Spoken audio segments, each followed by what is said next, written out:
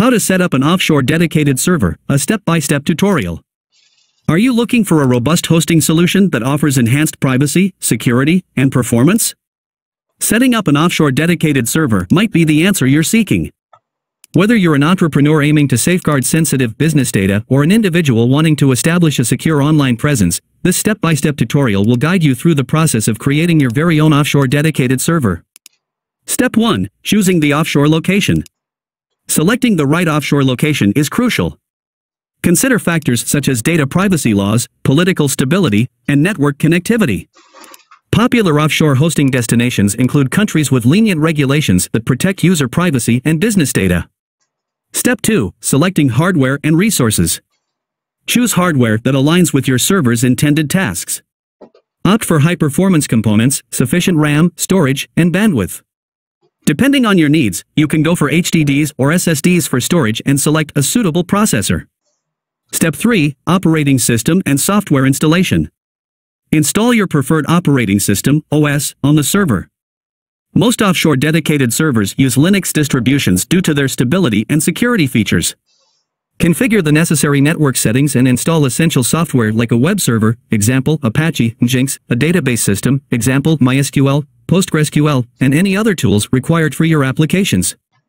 Step 4. Security Measures. Security is paramount for any server, especially when it's offshore. Implement firewalls, intrusion detection systems, and regular security updates.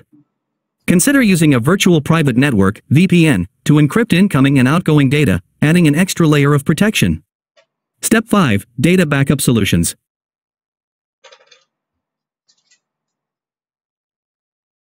Set up a robust backup strategy to ensure the safety of your data. Regularly backup your server's data to an offsite location and test the restoration process to guarantee data integrity. Step 6. Monitoring and Optimization. Implement monitoring tools to keep an eye on your server's performance and resource utilization. This helps you identify and address any issues promptly. Regularly optimize your server by removing unnecessary files, updating software, and tuning performance settings. Step 7. Testing and Launching. Before going live, thoroughly test your applications and website on the offshore dedicated server. Check for any compatibility issues, loading times, and user experience.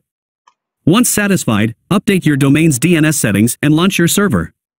Step 8. Ongoing maintenance and support. Maintenance is an ongoing process. Regularly update your server's software, apply security patches, and monitor its performance. Be prepared to troubleshoot any issues that may arise. In conclusion, setting up an offshore dedicated server requires careful planning and execution, but the benefits of increased security and performance can greatly outweigh the effort. By following this step-by-step -step tutorial, you'll be well equipped to establish your own offshore hosting solution tailored to your specific needs.